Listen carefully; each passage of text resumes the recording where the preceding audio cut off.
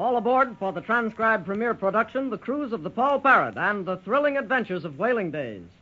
The trim whaling ship, the Poll Parrot, has set sail from New Bedford in the spring of 1858 with a fine crew and the most unusual company of people aboard. Although she sailed with the announced purpose of hunting whales and collecting a cargo of whale oil, the true reason for the cruise of the Poll Parrot is to seek a valuable mineral treasure on an unknown island. Captain Dalton, his best friend and first mate George Wainwright, the one-legged sailor Dickon, the cabin boy Johnny Robbins, and little Sue Grange, sister of the ship's owner, have succeeded in uncovering the secret, which was known only to the owner of the ship, Ezra Grange. He is also on the voyage, supposedly as a passenger, but really to find the treasure he seeks. After a bold attempt by a Spaniard named Altesti and his partner in crime, Red Mulhooley, to get control of the ship and secure the treasure for themselves has been foiled by the bravery and quick thinking of our friends, the troublemakers have been thrown in irons down in the hold. Since Johnny Robbins' father was one of the original discoverers of the rich mineral deposit on the secret island, Ezra Grange has promised him half the treasure when it's found. Just at this point, with the villain safely disposed of and the ship well on its way to the island, a cry comes from the masthead. There she blows. Blow me down, Mr. Grange. A whale sighted and so soon out. But with a new purpose in mind, the seeking for treasure, perhaps we might as well not waste time, Whalen. Oh, no, Captain Dalton. Even though we are first on the mission of this map, Grange and Sons are still in the whale oil business, you know. We'll not pass up such a chance when it's right before us. Aye, aye, sir. Right you are. We'll make short work of this lubber in no time at all. Wainwright, you and Dickon go on deck. Give orders to make ready for the catch. Aye, aye, sir. Oh, Johnny, we'll see our first whale caught. Yeah, I wish I could go along. Stand by. All hands on deck. Man the whaleboats. Mr. Biscayne, make ready for the catch. Mr. Jott, make ready to load away. There she blows off the starboard bow. Avast, it's a mammoth one for fair, a giant blue whale. He'll be hard to take, but worth the effort, I'll lay you to that. All's ready, sir. Mr. Jowett's boat will make the catch with Mr. Biscara's boat standing by if assistance is needed. Mm, He'll likely need it from that whale's size. Drop anchor! Heave her to!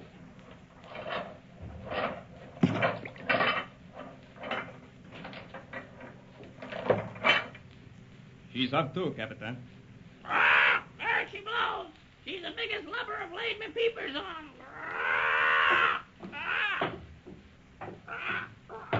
Look, here comes old Dickon with our mascot Polly on his shoulder. He looks terribly excited, Johnny. Captain, Captain, Captain Dalton. Shiver me timbers, Captain, it's him. He's too, Dickon. What are you bawling about? Oh, Captain, till me die on day I'd know him. It's the very one, the very one, Captain. Avast, Dickon. What's all this blabbing about? Speak up, man. Well, that, that whale rolling out there's the same blue whale that cost me legs some 15 years ago. I've seen him since many a day, and he's a monster to make fast to. But it's the same one, Captain, you may lay to that, sir. But, Dickon, how could you be sure that that's the same whale when he's so far from the ship? Oh, lass, I could never mistake that whale. Never till me dying day.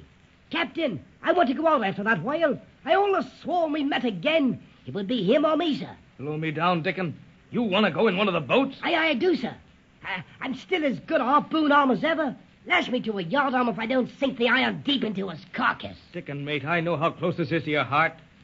I'm willing to give you a chance, but if harm befell you, I'd never forgive myself. Oh, Captain, I'll take the risk. Please let me go, sir. Hmm. I'll do it. Mr. Jowett, Dickon will go with you as boat steerer. Good luck, Dickon. Oh, but do be careful. Oh, heaven bless you. I'll not fail. Avast, mates! Avast there! I'm cabin! Ah, Avast there, ah, I'm we'll reach and blow and mill about, but we'll get 'em. Ah. Swing the mainyard. Load away.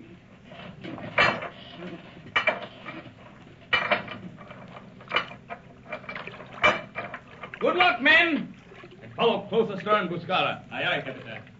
Jowett's boat may have to weather heavy swells near that monster. There they go. I hope Dickon catches his whale. Aye, lad, there they go. Poor old Dickon has waited many a year for this moment. He can't fail.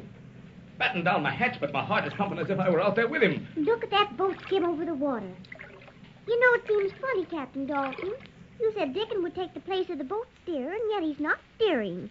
He's standing up in the bow of the boat with the harpoon. That's right. The second mate, Mr. Jowett, is steering. But after Dickon makes his strike and makes fast to the whale, then he and Jowett will change places, and he'll truly be the boat steerer. Oh. It seems to be a strange custom, I know, but it's always been so in whaling as far back as any man can remember. They're creeping up on the whale. Gee, he's really a big one, all right. He surely is. I never dreamed anything could be so big. they can make no more noise than they must, young'uns. Because you see, a whale's eyes are poor, but his ears are keen. And if he hears the slightest noise that's irregular, he'll sound. Sound? Yes, sound, dive under. And once he's under, there's no telling where he'll go. He may breach miles away. Breach. What's that, Captain Dalton? By breach, I mean he comes up to the surface again. Oh, look, they're almost to him. Dickon is standing up with a harpoon in his hand. Yes, he's about to cast the iron. May the gods of the sea smile on him and bring him luck. Look, the whale's turning about. Blow me down, he sees him. Oh, There goes Dickon's arm. He's cast. Oh. He's struck. Dickon got him all right, but now there'll be the Dickens to pay, and he may later that. But the whale's turning around. He can't bite anything with his back turned. Aye, but there's the danger. A blue whale, though he's the biggest of all, has no teeth. His mouth is full of baleen. Baleen?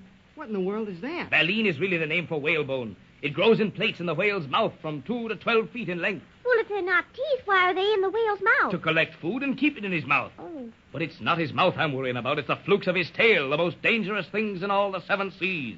Flukes are the points of the tail, aren't they, Captain Dalton? That's right, Johnny. Those enormous points. Those are the flukes. The whale is raising his tail out of the water. He's bringing it down on the boat. Oh.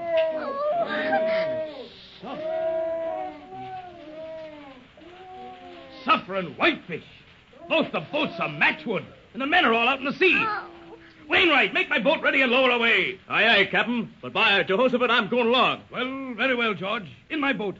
That's it, mate. Swing the mainyard. Lower away. oh, do be careful, Captain. Please, Mr. Wainwright, don't let anything happen to you. We'll be careful, Sue. We... Johnny, what are you doing in this boat? I had to go along, Captain. I'm small and quick. I can help. Well, blow me down, Roy. We're lowered now. There's no time to put the lad aboard. Oh, Johnny, you shouldn't have done this. But it's too late to do anything now. Keep low and out of the way. Ready, men. Here, men, I'll take the iron. You take a place at the stroke oar. I've got to make this strike myself. On, men, on. Say, look. The men out there in the sea are almost drowning. That whale's turning up the water so. There's Dickon. He's swimming for dear life. Easy, men, easy. We're almost on it. Wainwright, I'm going to cast the iron. Get ready to change places with me. Aye, aye, sir. Avast! There he breaches right ahead. Boil me and blubber. He looks like a man of war. And still see Dickon's iron in him. Yeah, it was a good strike. But this must be a better or we're all lost. We're on him, Roy. Give it to him. Here it is, you monster. Right. Change, George. Change. Keep the line. Steering oar. Then rope for your lives, but keep fast to him. Stay out of the way of his flukes. He's raising his tail again. Support, Oh! men. Support him. Comes the. Look, the boat's half full of water. Hold on, men. Stay afloat. Keep it. Don't let her capsize. He's running. He's going to ram us. Astern, men. For your lives. Oh. There's the last. Blow me down. He's turning again. Give him another iron, Wainwright. Aye, aye, sir. There. That's it. He's on the run. He's on the run. Haul line, men. Haul line. Keep it taut. Oh, we're closing in on him. Make ready to give him the lance, George. Look, look, there's Dickon. He's alongside the whale. He's hanging onto his flukes. Dickon, Dickon, don't be a fool. You'll be killed by those flukes. He's climbing up on the whale's back. Oh, what has he got in his hand? Strap him down by a hatch. He's got a lance. He's crawling over to one side of the whale. That monster sounds now, old Dickon is lost. There goes Dickon's arm. He's sinking the lance. Watch out, men. The whale's sounding.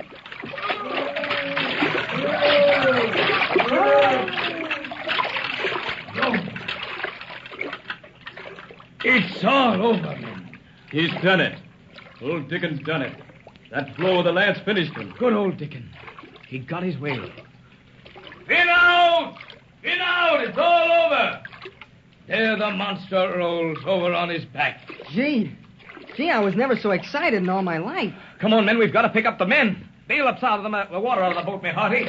We've almost been swamped. Captain, avast. There's Dickon. Dickon, Dickon, are you safe? Lend a hand, mates. Look lively there. Help with hands to starboard. Oh, I got him, Captain. Fin out, I got him. Help him I got aboard, him. men. Easy there, easy, easy. Are you sound, Dickon? Are you all right?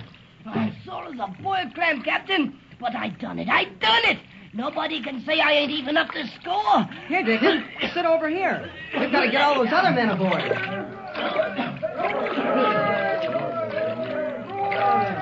Look, Captain. Mr. Nicholson on board is sending us signals with the colors and togallants. He's sending out another boat to wait us and picking up the men. Good. Look lively, Mr. Wainwright. There's Buscara and his boat steerer to port. And there's Jowett. Pick 'em up. Here comes Nicholson's extra boat. I think all hands are accounted for, sir. Avast, let's see. Jowett and Buscara. Three hands here. Two making for Nicholson's boat. Five still overboard there. Aye, aye, Mr. Wainwright. All present, all accounted for. Our boat will still hold a few more hands. Help those men astern over the gunwale. Easy there, easy. Well, Dickon, it was a hard battle, but you've a stout heart.